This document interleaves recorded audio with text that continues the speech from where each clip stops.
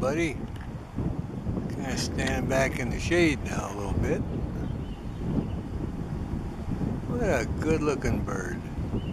Patiently waiting for his chow here. Was calling earlier, and now he's kind of giving up. He's not in the intense sunlight. He went back here on his little rock.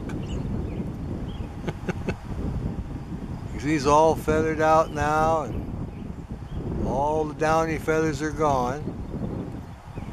He could fledge any day now. There he is. Grew into a little prairie falcon with little uh, grayish blue feet.